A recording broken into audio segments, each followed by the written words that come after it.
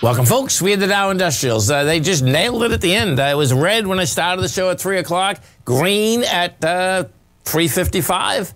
Guess what? 3.59 went back to red. Not big, but nailed it down a little. Dow down 53, Nasdaq off 15, S&P's up four and a half. Gold, gold contract up $17.60, traded 18.74 an ounce. We had silver up 28 cents, $23.63 an ounce. Light sweet crude off a buck 24, $90.82 a barrel. Notes and bonds. The 10-year note up six ticks.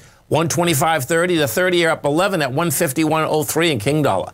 King Dollar down 219.6 at 95.770. Euro 113. Yen 115 and a half, and the British pound 135 to one U.S. dollar. We get over and we take a look at the S&Ps, folks. What you have, you get a good bounce going.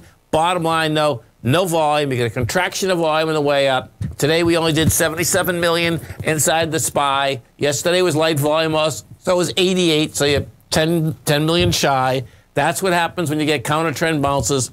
I do expect um, that the bottom line is that we can get up to the top of this range, which is at 457. That's another uh, 10 bucks higher than where we are.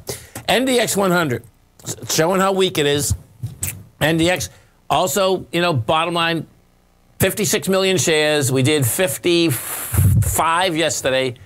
You're going into 101. And the real, the kicker with the NDX 100 is that will it be able to make the 366? We're at 356.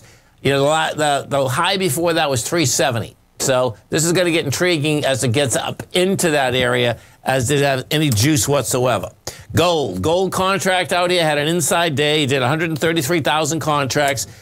Um, as I said earlier, what gold had done is 100% move for the move. And so most times what you do there, you're going to move sideways, you back down a little. It's going to build cause to get over the 1882. You know, we hit the 1881 60 and you hit that with volume. That's how you want to go into a swing, folks. If you go into the swing with volume, which we did, your probability gets much higher that you're going to blow it away.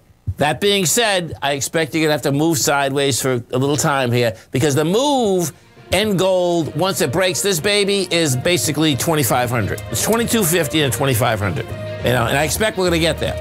Um, it's going to take a little time. Have a great night, folks. Have a safe night. Come back and visit Tommy tomorrow morning. Kicks us off 9 o'clock in the morning. Great show. Have a great one, folks. Have a safe one.